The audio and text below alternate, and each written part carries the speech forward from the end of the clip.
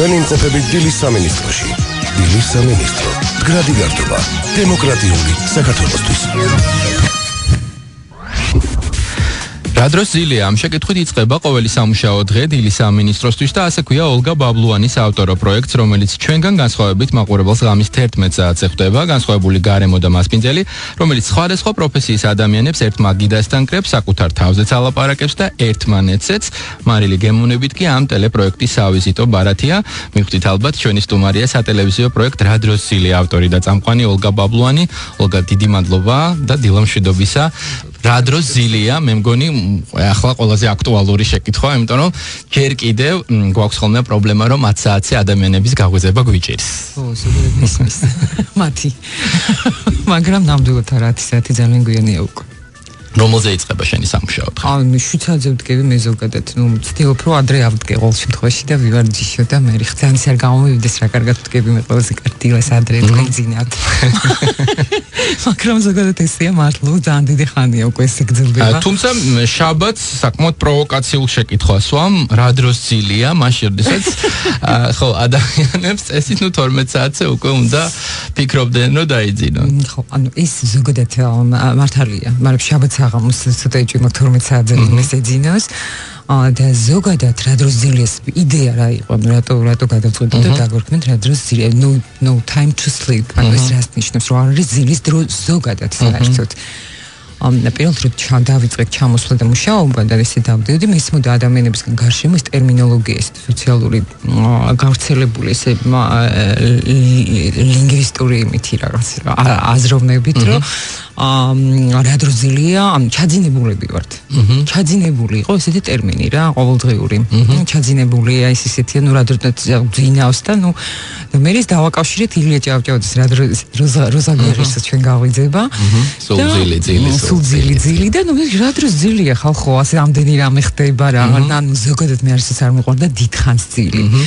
ყოლს მიშინოდა ამ ძილის მეგონა რაც დრომე კარგებოდა და რაღაცა 7 საათი უნდა მეძინოს და მე უკვე შემდეგ ყო და ამიტომ დავარქვით ეს რა დრო ზილია როდესაც ძალიან ბევრი რამე ხდება ზოგადად სამყარო იცრება ყოველდღიურად დრო ყველაზე დაჩქარებულია რა ბანალური სიტუაცია მაგრამ მართლაც ესეა კი ბატონო და თქვენმა ჯგუფმა გადაწყვიტეთ რომ ცივი წყალი დაგესხათ ასე ვთქვათ ამ стереოტიპისთვის ჩაძინებული ასე ვთქვათ მდგომარეობისთვის და საზოგადოებისთვის და შეთავაზეთ ძალიან განსხვავებული გარემო. ბევრი საინტერესო თემით და სტუმრით.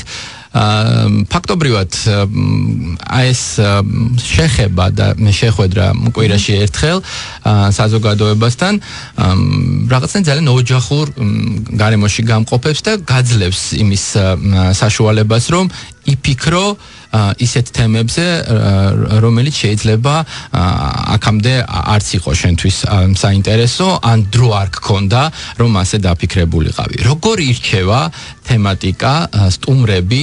მოდი მოუყვეთ ჩვენს მსმენელს როგორ კეთდება გადაცემა თავისი გასტრონომიული ასე ვთქვათ გადახოვებით კი ბატონო ანუ ზოგადად რა რატომ გადავწყვეტეთ რომ გავშეგვიქნა ესეთი კონცერტი?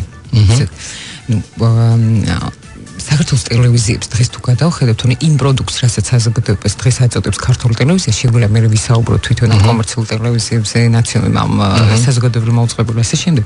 მე ზოგადად საზოგადოებრივზე დავიწყეთ ან პირველად ან მშვიდობითი არ აღიღო და ეს არის განახლებული ფორმატი. აა ვიფიქრეთ რომ შეგვექნა, ნუ ვიფიქრე შემექნა ესეთი პლატფორმა ახალი, რომელიც იქნებოდა სოციოკულტურული, ანუ სოციალურ-კულტურული და იქნებოდა ფართო მაყურებლისთვის გათვლილი. აჰა რადგანაც ალტერნატივა მსგავსი გადაცემის არ არსებობდა. ან თუ არსებობდა, იყო ესეთი ტიპის გადაცემა, რომლებიც წავდა ძალიან მცირე მაყურებელი, იმიტომ რომ ბევრი მიზეზის გამო, ნუ ვიცით რატომ, ხო, ეს მსგავს გადაცემებს არ აყავს მაყურებელი, იმიტომ რომ იქ რეკლამა ნაკლებად იდება და ზოგადად კომერციული ტელევიზიები ნაკლებად არიან დაინტერესებული მსგავსი გადაცემების არსებობით, იმიტომ რომ მათი არსებობას დამოკიდებულია კომერციულ შემოსავალზე. აჰა ამიტომ ჩვენ გადავწყვეტეთ მსგავსი პლატფორმა შეგვექნა და შეგვეტანა ძალიან ბევრი ელემენტი. აჰა. გაგვევსოს ფრთხილებში თქვენ გაგვე შეგვევსო ეს გადაცემა ძალიან ბევრი ელემენტი. მარკეტინგული კუთხით თუ ვიზუალური თუ აი ბევრი ელემენტი ყოფილიყო და ზოგადად კონცეპტუალური რაც მოგცემდა იმის საშუალებას ხო ხო ხო ყველაფერი კარგად არის? ე უბრალოდ პონსველოდებოდი და აი მოვიდა კიდეც. და შეგვექნა და შეგვექნა ისეთი მიგვეწოდებინა და მაყურებლისთვის ისეთი ფორმით ეს შემეცნებითი გადაცემა რომელიც იქნებოდა ყველასთვის და ამავდროულად არ იქნებოდა მოსაწყენი იმ მაყურებლისთვის, რომელიც ძალიან დიდ ხანსლების მანძილზე მიშველი იყო შოუს და გართობას. ეს არის ძალიან მნიშვნელოვანი გამოწვევა დღეს ადამიანებისთვის, რომლებიც მედიაში არიან, შექმნა ყველასთვის და ერთისთვის.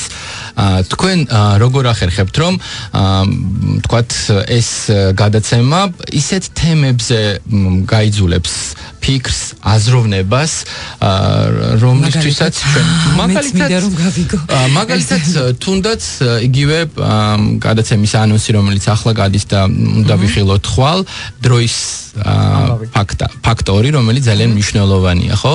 დრო როგორც მოცემულობა, კი ბატონო, დრო როგორც მოცემულობა და დრო როგორც ასე ვთქვათ, საზომი. ოკეი, ან ეს არის თემები, რომლებიც ნებისმიერ ქვეყანაში განიხილება. უბრალოდ კიდევ ვიმეორებ, რომ საქართველოსი ისტორიული კონტექსტიდან გამომდინარე, არ იყო ამაზე ამის დრო, ან იყო ძალიან მცირე მაყურებლისთვის, ამის კონკრეტული ადამიანები აკეთებდნენ და კიდევ ვიმეორებ, ბევრი მიზეზის გამო მას არ ყავდა თქვა ცეთი მაყურებელი.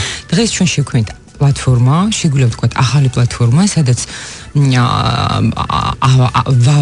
საუბრობთ ისეთ თემებზე, რომლებიც საზოგადოებისთვის დღეს თანამედროვე სამყაროში არის საინტერესო, არა მხოლოდ ჩვენთვის, არამედ თანამედროვე სამყაროშიც. ანუ თემებს ვარჩევ ზუსტად იმ ინტერესიდან გამომდინარე, რაც შეიძლება ნებისმიერ ადამიანს აინტერესებდეს ნებისმიერ ქვეყანაში. ეს იყო საზოგადოებისთვის მისაღები და საინტერესო ხა დროის ფაქტორი, ხა ჩვენ საუბრობდით, ამ გადაცემის თემა არის თქო შემდეგ გადაცემის კვირას გადაცემა გადის. ნებაპატე ჩაბეს გადაცემა გადის 23 საათსა და 30 წუთზე იმედზე. აჰა. და აა ვლაპარაკობთ დროზე. ნუ ზოგადად საქართველოსი თუ ეხლა მოკლე მაგალითი რომ მოვიდეთ, ხო, როდესაც ვაკვირდებით სოციალურ კონტექსტს, აა არის ძალიან საინტერესო დრამატურგიული სიტუაცია შეგვიძლია ესე ვთქვა, აი ვამბობ რომ გარსია მარკესი შეშურდებოდა, მოხელა ხარ მაკონდოს ისტორიას ხელახლა გადაწერდა. იმიტომ რომ ან არ იყოფოდა უკვე ის შესაძლებლობა მისი ის და თავისი ტალანტი ამისთვის, რადგანაც აი საუბრობდით დროის კოაბიტაციაზე, ხო, ანუ არიან რამდენი ვინმე ეპოქა თანაცხოვრობს საქართველოში, საბჭოთა კავშირის პერიოდი, ადამიანები რომლებიც ცხოვრობდნენ და მთელი თავიანთი ცხოვრება გაატარეს ამ პერიოდში, ანუ აბსოლუტურად ჩამოყალიბებული ადამიანები, რომლებიც რაღაც უკვე გარკვეულ ისეთ ასაკს მიაღწიეს, რომლებისთვისაც უკვე შეიქმნა მთელი ეპოქა და აი აქ მთავრდება მათი ზოგადად ყოველდღიური ცხოვრება. არსებობენ ადამიანები, შემდეგ გავუსთ მათივე შვილები თაობა, რომლებიც 90-იან წლების არიან და ეს თაობა არის ზოგადად შუა თაობა შეგვიძლია ვთქვათ ამ გარდატეხი პერიოდის.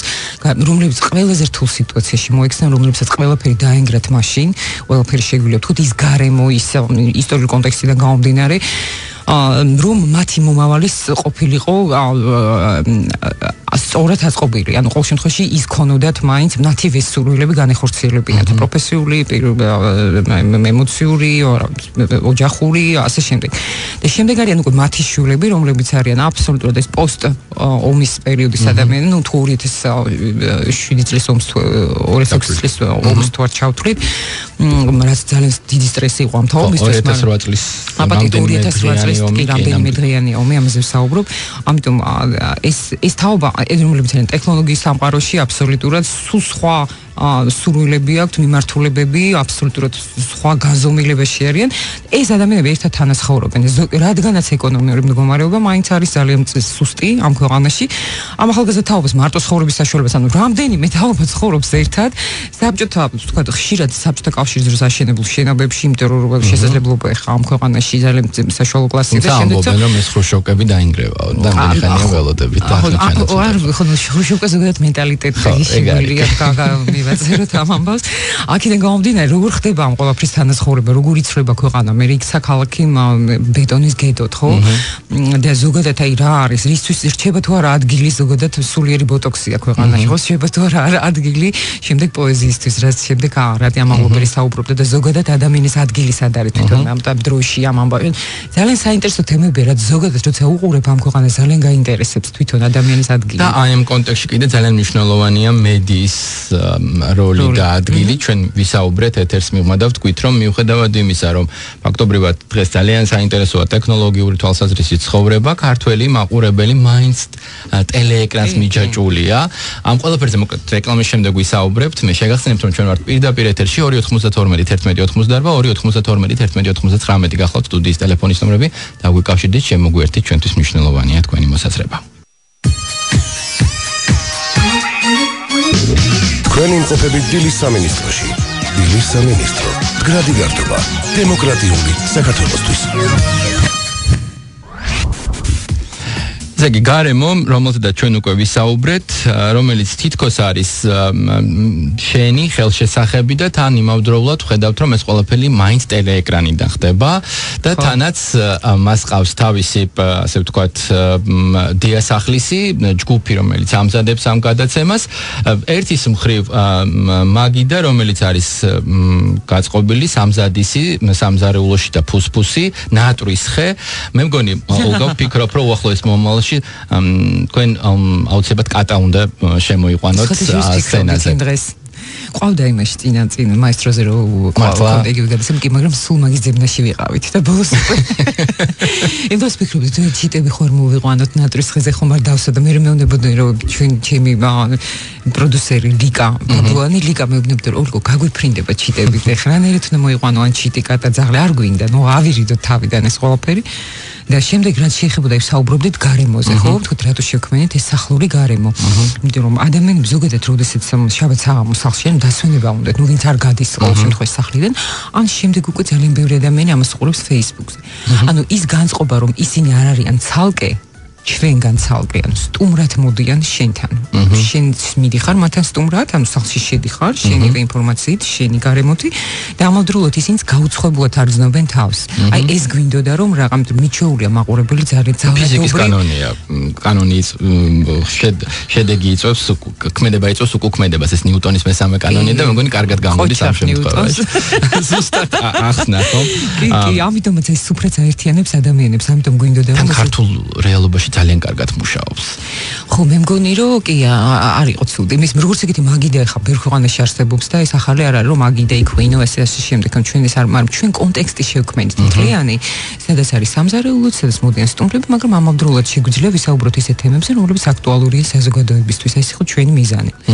აა როგორ მოახერხეთ ოლგა ის რომ ერთის მხრივ ტელემედიაში, რომელიც გვთავაზობს, ვთქვათ, ორ აა პოლუს ეს არის სერიალები და აქეთ თქვა ყვითელი ეგრეთ წოდებული გასართობი შოუები.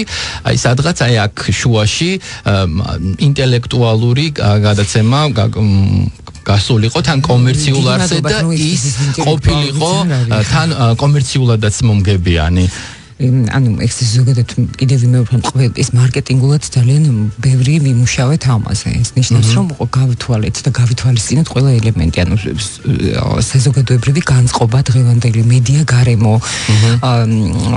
ზოგადად მარკეტინგული კუთხე თვითონ დიზაინიდან გამომდინარე და ასე შემდეგ. ბევრი იყო ნამუშევარი იმისთვის ახლა ბევრი დრო ჭირდება ამ დეტალებში ჩავით მაგრამ რომ ყველა კონკრეტულად ყველაფერს ემუშავა. აი ეს იყო ძალიან მნიშვნელოვანი ხო? აი მედიას თავისი კანონები აქვს და ამამდე იმუშავა იმუშაოს მაყურებელზე, მაგრამ ჩვენ ვცდილობდით რომ შეგვენარჩუნებინა გაგვეთვალისწინებინა ის ისტორიული კონტექსტი, რაც ქვეყანაში იყო 90-იან წლების შემდეგ, შეიქმნა დამოუკიდებელი ტელევიზიები, ხო? ანუ ზუსტად ვიცით, რომ მაშინ არ არსებობდა სარეკლამო ბაზარი და ძირითადად ის ტელევიზიები, რომლებიც იქმნებოდა, იყო პოლიტიკური იარაღი. შემდეგ უკვე ქვეყნის ეკონომიკურ განვითარებასთან ერთად და პროგრესთან შეიქმნა სარეკლამო ბაზარი, ანუ ტელევიზიები, ზოგადად კომერციული ტელევიზიები არსებობენ რეკლამით. ამიტომ ის რაც ყველაზე კარგად ყიდის იმ ტელევიზიისთვის აუცილებელია რომ მას ფული შემოუვიდეს რაღაცამ რეკლამა ჩადოს და იმან იარსებოს მაგრამ ეს უკვე ძალიან რაზეც თქვენ საუბრობთ, უკვე ძალიან გადაზრდილია კომერციულ მოგებაზე. ანუ ის რომ ჩვენ რა იქნება თურქული სერიალები დაწერს რა პრობლემაა, ინდური არანაირი პრობლემა არ არის. გავიხადოთ, ვიკიბოთ, ვიწილოთ, ვიმხიარულოთ ყველაფერი, ვიბედნიეროთ პოლიტიკოსებთან ერთად ვიცეკოთ, ვიმღეროთ, მაგრამ ამა ყველაფერმა თურქული დაწერს. ხო, აი მაგ ხო და ამიტომ ეს იცით რა არის? ეს ესეც ვითარდება ხა ეს ძარა მაშინ 90-იანებს რო ვიხსენებ ზოგადად გახსოვთ ალბათ ხო როგორი გარემო იყო ნუ ეს ძარ არის ხა კატასტროფა უბრალოდ მე და ძალიან ბევრი რამე კეთდება ზოგადად მედიაში ხა ეს არ არის რომ და ჩვენ ეს რამე ესიებ ეგრეც არ არის ნამდვილად. რთულია იმუშაო იმიტომ რომ ვთქვათ მენეჯერი რომელიც წყვეტს რა უნდა კონდეს ეთერში ვთქვათ კომერციული ინტერესებიდან გამომდინარე გეუბნება რომ თუ შენ არ დადებ ვთქვათ ისეთ პროდუქტს რომელსაც ექნება კარგი შემოსავალი აი ეგერ ბატონო მივცემ თურქულ ან ინდურ სერიალს და ის იმაზე მეც დაწერს. ანუ შენ გჭირდება შენ იგი გამოდის რომ სერიალებს იმიტომ რომ შექმნა ზოგადად მართა ანუ თქვენ ეს საუბრობთ მესმის ზუსტად მე მგონი ზოგადად მაყურებლის მოთხოვნა საზოგადოებაც გაიზარდა მოთხოვნაც იზრდება ეს დროის გაი დროზე საუბრობთ წეგან ეს დროც ითხოვს უკვე ამ გამ გლობალურ განვითარების სამყაროში ვართ რომ რაღაცები აქაც შეიცვალოს. ამიტომ ეს ის ნემელო ჩვენ ლაგდება. აი დღეს თქვენ მომიწვიეთ და დიდი მადლობა და ამაზე საუბრობთ ეგ ამ საშუალება არის უკვე არსებობს სივრცე ანუ თქვენ ცოტა ამას დროს ანუ ეს ყველაფერი ხომ არსებობს უკვე ხო ანუ ჩვენც ამ დროსთან ერთად მოხდა ის ის ჩვენ კი არ მოვიტანეთ დრო ანუ დრომ და ჩვენ ერთმანეთს გავუგეთ მით მოკლედ თქვა და ასე მოხდა ეს თანხwebdriver კი ბატონო ამიტომ მე ვფიქრობ რომ ზოგადად მედიას ისეთ ქვეყანაში როგორც საქართველოა განვითარება ქვეყანაში, სადაც ძალიან დიდი რაოდენობით აგრესია და აგრესია მიეწოდებოდა მაყურებელს, ან იკვებებოდა ამითი, ხო? 88% დღეს საქართველოს ტელევიზორიდან იღებს ინფორმაციას. ტელევიზია ჩვენ 3-4 ტელევიზორი აქვს სახლში, ხო ადამიანებს. მარტოობის სიცარიელის აი იმ ყველაფრის შიშის შესავსებად თითქოს ოთახში ღამე უნთიათ ტელევიზორ ხალხს ზინავს და მაინც ჩართულია.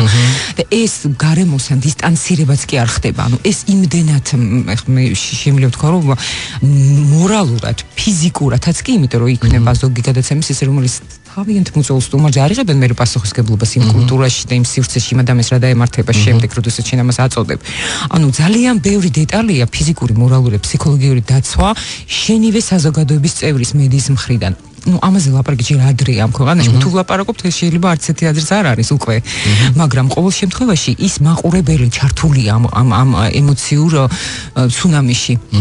ვინ არის თქვენი მაყურებელი. ჩვენ ვთქვით, ვთქვათ სამ კატეგორიაზე, ასაკობრივ კატეგორიაზე ვთქვათ, ხო? ადამიანები, რომლებიც ცხოვრობდნენ საბჭოთა პერიოდში, შემდეგ უკვე 90-იანი წლების, ასე ვთქვათ, მოქალაქეები და თინეიჯერები, რომლებიც ძალიან რთულია, რომ დღეს ვთქვათ, დასვა ტელევიზორთან ან ვთქვათ, მოასმენინო რადიო, იმიტომ რომ მათ ვთქვათ, სხვა სხვა ინტერესები აქვთ და შეუძლიათ რომ ტექნიკურად ადაპტირდნენ, ასე ვთქვათ. მაინც როგორ ფიქრობთ რა კატეგორია ის ვისთვისაც იქნება ეს პროდუქტი? აი ძალიან უცნაური იმიტომ რომ ძალიან კარგი შედეგები გვაქვს Facebook-ზე ჩვენი პროგრამები ვინც ამას აკეთებენ სოციალურ ქსელებში ზუსტად რაოდენობას ვერ ვიტყვი ხა მაგრამ აი რაღაც მილიონებზე ლაპარაკი რაღაც მოკლე ვადაში ახალგაზრდების თვითონ სხვა თაობაც ზუსტად ისევე მოყვება Facebook-ს და მე მინდა ვთქვა რომ ბევრად უფრო ინტერესიანები ბევრად უფრო ღრმა და ინტერესით ანუ ინფორმაციის მოწყურებული ახალგაზრდები არიან ამ ქვეყანაში. მე საფრანგეთში მუშაობ, იქაც გითხარით წერანას დავფრინა ყოველ ერთად. და ბევრად უფრო ინტერესები არიან და ბევრად უფრო მოწყურებული, მაგრამ მხოლოდ ინფორმაციას. ზოგადად აი ამ შემეცნებით მოწონთ რომ იციან, მოწონთ რომ განათლება აქვთ. მოწონთ რომ ისწავლეს უკვე. ეს იმიტომ რომ დიდი ხანი ეს არ არსებობდა აქ. ამიტომ ამაზე ისეთი მოთხოვნილება მე ზოგადად მიკვირს რამ რამდენად ინტერესიანები და ნიჭიერები და მუნდომებულები არიან, რომ Facebook-ზე ძალიან კარგად მოყვებიან. აჰა. მათთვის არის ეს საინტერესო ის მე ყველაზე მეტად მიხარი. შემდეგ უკვე ის მაყურებელი, ვინც 92% ტელევიზიის სურს უყურებს და ყველა ჩართული აქვს ზოგი მე უკვე ისეთ ახალგაზრდას შეესწრება ახლა რომ შევა სახლში და ანუ ზოგადად ბევრნაირი მაყურებელი ყავს ან კონკრეტულად ჩვენ არავიზი არ გაგვეთვლია ჩვენ კონკრეტულად გავთვალეთ იმ მოთხოვნაზე რაც უკვე არსებობდა საზოგადოებაში და ის ამ დრომ და სივრცემ გააჩინა. კატო. აჰა. კატო. კატო. ხო, გეთახმებით კატოს. საოცარი ბავშვი, რომელიც ბევრს არ ლაპარაკობს. ბევრს არ ლაპარაკობს, მაგრამ გამოდის რომ თემებთან მიმართებაში, გადაცემის დაგეგმვასთან მიმართებაში, თქვა სერიოზული როლი აქვს, ხო მას? ძალიან სასაცილოა. შემე მინდოდა ბავშვების კასტინგი ჩამეტარებინა და ვფიქრობდი თხას ვანკორდებოდი მეგობრის ბავშვებს რაღაცებს აკრო ჩამოვდიოდი ზაფხულობით თუ განსაკუთრებით და ნუ ამას ახ ჩემთვის ვინახავდი რა თქმა უნდა. და ეს აღმოჩნდა რომ კატო იყო ჩემი ძმის მეგობრების შვილი ან ჩვენი ბავშვების მეგობრების შვილი და ხშირად ხედავდი ხოლმე და მე მახსოვს როდესაც დედა ჩემი, ჩემი ძმა, ჩემი შვილი, ანუ ყველა ეკითხებოდა კატოს ყველანაირ ინფორმაციას. დედა ჩემი ეკითხებოდა კატოს ჩემი ძმა სად იყო? გადაღებაზე ისე უნებოდა და კატო იყო ცენტრში და მე რო კითხე და კატოს რომ რამდენი წლის ახარ 10 მაშინ 9 წლის იყო. ეხა ანუ პატარაა, დიდი დიდია ისე თქო. ძალიან ჭკვიანია, ყველაფერი ძალიან კარგად აანალიზებს და ყველაფერი იცის და საკუთარი აზრი გააჩნია. და მე მხარ მხომარ მიიღებ გადაცემაში მონაწილეობას ჩვენთან ძალიან გაუხარდა. შემოგვიერთა ყველა თემაზე, რაზე ჩვენ საუბრობთ, არის ჩართული. ყველაფერზე აქვს თავის აზრი, უბრალოდ ხშირად არ ერევა გადაცემაში, რომ არ უსმეს. ძალიან უნდა მოსმენა და ეს კატო იყო ბავშვი, წარმოვიდგინეთ, რომელიც ყავს ნებისმიერ საქართველოს. სულ ყავთ ბავშვები დაბადებიდან, სულ ოჯახებში ხარ, სულ ბავშვები. ყველა ოჯახში არის ბავშვი და ერთი ბევრი ქონს ოჯახშიც არის ბავშვი ტელე. ტელევიზია ჩვენც გადაწყვეტ სახში ყოფილიყო ბავშვი, რომელსაც უნდა ოღონდ უფროსებთან ერთად იჯდეს და არ მნიშვნელობა რა თემაზე ლაპარაკო არ დააძინო. აი კატოს დაახლოებით ესეთი ფორმატი ხო ჩვენთან და თვითონ ძალიან მაყოფილია რაღაც თემებში ერთვება. არის მომენტები როცა ერთვება, არის მომენტები როცა ძალიან უსმეს და ძალიან ვერმა ბავშვმა დაიწყო ყურება, იმიტომ რომ კატო იყო. და ეს კარგია. ჩვენზე თემზე საუბრობთ. ძალიან მნიშვნელოვანია კი ბატონო. აა როგორ ფიქრობ თქვათ ის თემები რომელსაც დღეს აშუქებთ აწვდით საზოგადოებას. აა სადმე დასრულდება ანუ წერტილი შეიძლება რომ იყოს თუ უკაცრავად ვერ გავიგე მაპატიეთ ან თემების რაოდენობა ვთქვათ ის საკითხები რაზეც დღეს თქვენ თქვენი ეთერით აწვდით მსმენელს მაყურებელს ინფორმაციას. სადმე შეიძლება დასრულდეს თქვა იმ კუთხით, რომ ერთ მშვენიერ დღეს გადაწყვიტოთ, რომ ფორმატი შეიძლება შეიცვალოს გადაცემის და თქვა ისე თემებზე გააკეთოთ, რომელიც გუშინ თქვენთვის წარმოუდგენელი იყო. ამ ზოგადად ჩემთვის რამდენიმე წლის გუშინ წინ. ბევრი რამე იყო წარმოუდგენელი. ან ის რაც ჩვენი ინტერესებიდან გამომდინარეა, ყოველთვის შეიძლება მოვიყვანოთ რეალიზაციაში. ამიტომ მე თუ ამ ფორმით ვისწავლედი ამ კუთხით ამს გავაკეთებდი, მე ადრე არ არ ვიფიქრებდი. ამიტომ ზოგადად რა თქმა უნდა, თემებიც იცლება, საზოგადოების მოთხოვნა იწება, ჩემი ინტერესებიც იცლება, მაგრამ რჩებით მაინც მედის გარშემო, ამიტომ რა თქმა უნდა შეიძლება კონცეფტი შევცვალო, მაგრამ თემები არასოდეს იწურება. მთავარია ჩვენ არ ამოვიწუროთ. ხო, ამას ვამბობ ზუსტად. სათქმელი სათქმელი სათქმელი არის სათქმელი გააჩნია ადამიანს. შენ თუ ამოგეწურა ცხოვრებაში სათქმელი მაშინ ალბათ უკვე ცუდია ეს ამბავი. ამიტომ მე მგონია რომ აი სულიერი განახლება ნებისმიერ ადამიანს ჭირდება ადამიანს ჭირდება იყოს მაგალითად ის წელი წეგამ საუბრობდი ჩვენ ძალიან საინტერესო იქაც ხო კარგად ვისაუბრეთ ხო? ეს ეთერს მიღმა. ეთერს მიღმა ეთერს ხო? ანუ ზოგადად ადამიანის საუბრობთ თქვით მარტოობის შიშზე ხო? რამდენად მარტოობის ძალიან დიდი შიშია თქვით საქართველოსში თუ მაგალითად ადამიანმა არის არ ისწავლა მარტოობის დაძლევა, მარტო არის ცხოვრა. ან მარტო ცხოვრება არ ნიშნავს მარტოობის დაძლევას. თუ თავის თავში მარტოობა არ დაძლია, ის შინაგანი სიცარიელი არის რაღაცეებით არ შეივსო, ყოველთვის იქნება სხვისი ცხოვრების ან სხვა სხვა სხვა რაღაცეების მაყურებელი. თქვა ეს ტელევიზია არის ამას ამით ყვებავს კიდე რომ აი სიცარიელი თქვა ეს შიშები რაც ამ ქვეყანაში არსებობდა ეს ტელევიზიის სხვა ფუნქცია უნდა ქონდეს და ადამიანებს სხვა ინტერესის გამოც უნდა უყურებდნენ ტელევიზიას. ეს იგივე ადამიანი, რომელსაც უნდა რომ იყოს დაბინავებული, ან რომელსაც ჭირდება რომ იყოს უყვარდეთ და ამის გამო ეძებს მეორე ადამიანს, რომ თქვა აი და ოჯახის შექმნას და შემდეგ უკვე იწყებს ახალ სოციალური ურთიერთობების ძებნას, იმიტომ რომ ეს არ იყო სწორი მიზანი მისთვის, ის სხვა რაღაცისთვის ჭირდებოდა. ანუ ტელევიზიაც იმისთვის უნდა გჭირდებოდეს, რომ ჩვენთვის მოქონდეს სიამოვნება, ჩვენთვის იყოს განტვირთვა, ჩვენთვის იყოს ინფორმაციის მიღების საშუალება, სოციალური ქსელებიც ვითარდება და შემდეგ უკვე ამას გავეცალო და გადავიდე სხვა რამის ეს არ უნდა იყოს. რაღაცის შემოსებელი და ადამიანებიც არ უნდა იყვნენ კომერციული შემოსავლის გამოყენების საშუალება რა ვიცი ნამდვილად რა მხოლოდ გამომივიდა უკაცრავად. ამბობთ რომ ფაქტობრივად ნახევარი ცხოვრება ჰაერში გიწევთ ყოფნა იმიტომ რომ ნახევარი ძალიან ბევრი იქნება უკაცრავად. ორ კვირაში ერთხელ მაინც კი კი ესე მგონია რომ ზივარ ხომ ზოგადად ავტობუსში.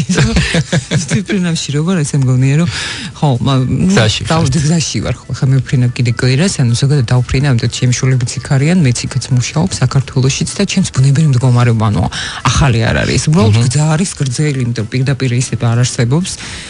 აჰა. აა დაუფრინა ზოგადად თურქეთით და ამიტომ ატლას გლობალი ჩვენი პარტნიორია თამნას ვიეს გამოიყენე ხო ჩვენი ეთერი ამ ოლგა რა საქმიანობთ საფრანგეთში? კი ბეტონო აი ხო რამდენიმე ორი წელი ეკაც იმიტომ რომ საქართველოსში დავიწყე მუშაობა ეს პროექტი გავითარების პროცესია ვავითარებ სერიალს წინასწარ არ მინდა არ მიყვარს ხოლმე არაფერზე ლაპარაკი ანუ ზოგადად კვირის გადაცემა რო ჩაწერილი იმიტომ მივაპარაკე.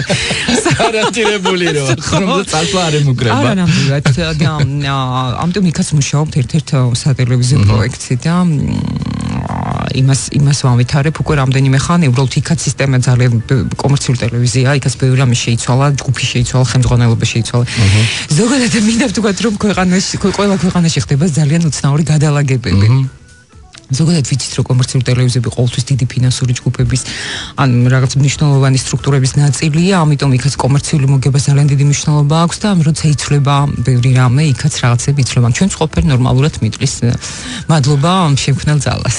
ძალიან დიდი მადლობა თქვენ იმისთვის რომ იყავით ჩვენთან. მე მგონი სათქმელი არის ძალიან მნიშვნელოვანი ადამიანებისთვის, ტელეწამყვანებისთვის, გადაცემის ავტორებისთვის, იმიტომ რომ ხვდებით რომ ეს სათქმელი მგოერთიანებს. კი, გრძნობა არის ძალიან მნიშვნელოვანი და ის ქიმია, რასაც ვეძახით, თუმცა ვერბალური ნაწილი მადლობა ღმერთს რომ სწორედ ადამიანებს შეგვიძლია და კომუნიკაციაც ასე მყარდება ხოლმე. მე წარმატებები მინდა ვუსურო ამ გადაცემას მის ავტორს მის წამყვანს და იმედი დავიტოვოთ რომ კიდევ შევხვდებით ერთმანეთს იმიტომ რომ სალაპარაკო ბევრია. სიმოვნებით მადლობა. და საეთერო დრო როგორც წესი არ არის ხოლმე საკმარისი მაგრამ აი მთელი 32 წუთია ვსაუბრობთ მადლობა ოლგა. მიხარია რომ ასეთი პროექტი არსებობს. სხვანაირად კოლეგების გულის მოგება მარტივი საქმე არ არის, მით უმეტეს ძალიან დიდი ხანია ადამიანები ამ საქმეს აკეთებენ და თავისი საქმე აქვს უკვე ყელში ამოსული და სხვას რო აქებენ მოსონ და უყურებენ, ეს მე მგონი ყველაზე საინტერესოა, ხო? და ყველაზე კარგი გამარჯვება ამ ხრივ. დიდი მადლობა თქვენ რომ იყავით ჩვენთან ერთად. უყურეთ შაბათ 12-ის ნახევარზე და დროის თემაზე კიდევ ერთხელ დაფიქრდით. აი ორ შაბათს 8 საათზე კი მე შეგეკითხებით რა დროსილია თქო და აუცილებლად გამეცით თქვენ პასუხი. მომავალ მოსმენამდე ნახვამდის. თქვენი მყოფები დილის სამინისტროში. დილის სამინისტრო. მდგრადი გართობა. დემოკრატიული საქართველოსთვის